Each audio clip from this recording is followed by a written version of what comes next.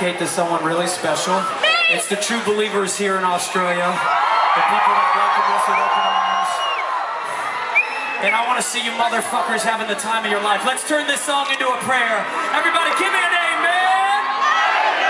Give me a hallelujah.